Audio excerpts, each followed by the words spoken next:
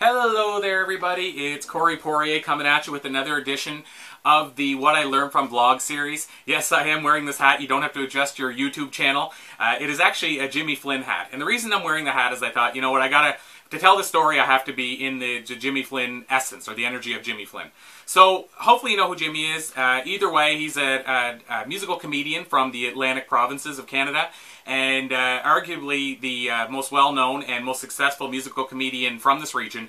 So we did an interview with uh, Jimmy in 2010 and wanted to get uh, inside his, his business mind and see what, you know, was it just a fluke? Is it the brand? Is it the hat that helped Jimmy rise to this level? Or is it the, the business side as well? And the good news is I can report uh, it is the business side that made a, a big dent uh, in the world when it comes to the Jimmy Flynn brand.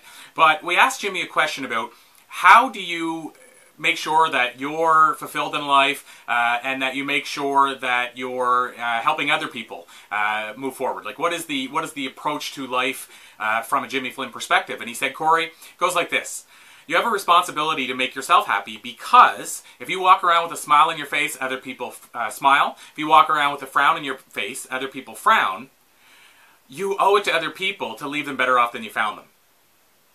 I don't know about you, but that's pretty profound to me. So what can we do with this knowledge? How can we take this knowledge and apply it to our life? I believe it means that you can now uh, send a text out to somebody that you care about and tell them, you know what, smile, somebody's somebody cares about you right now. It could mean sending them a Facebook or an email uh, message saying that you care about somebody or just complimenting them on something or just bringing a smile to their face.